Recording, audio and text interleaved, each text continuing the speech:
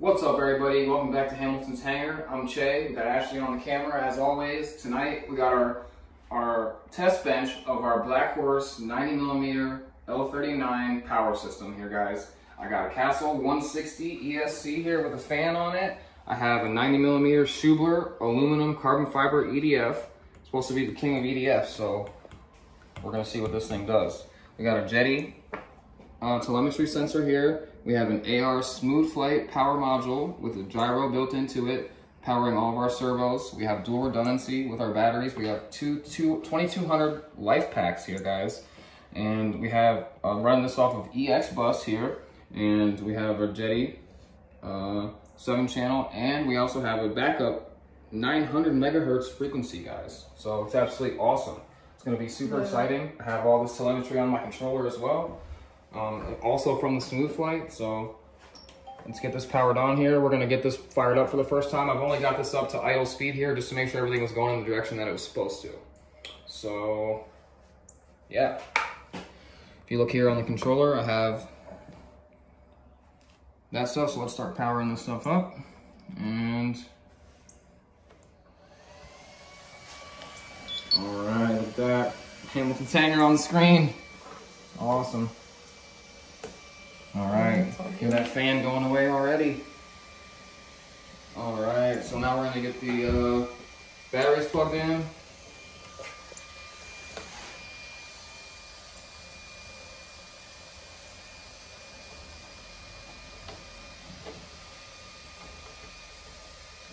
Mm. Down.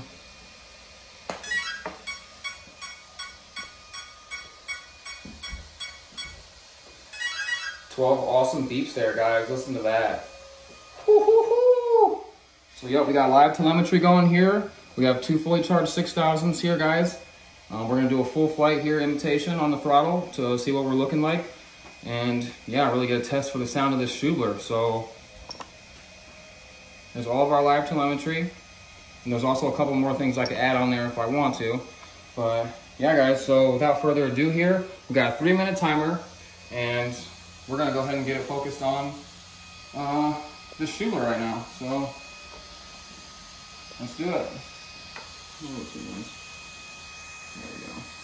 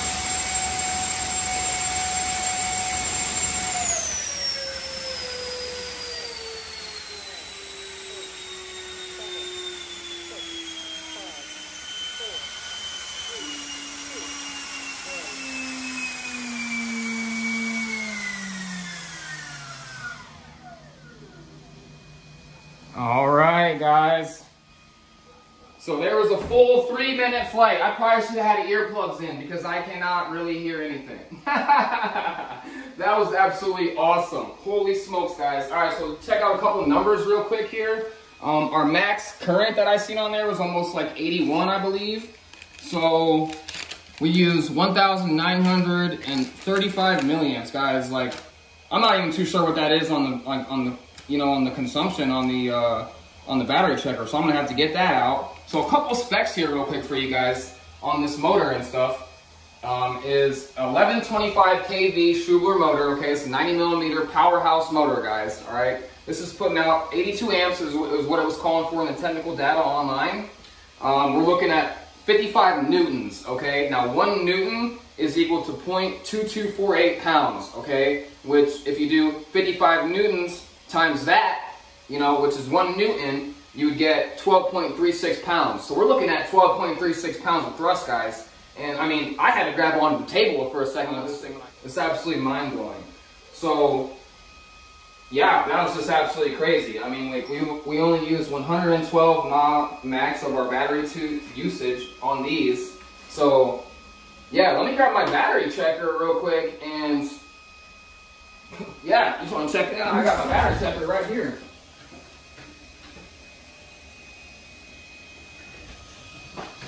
Yeah. So,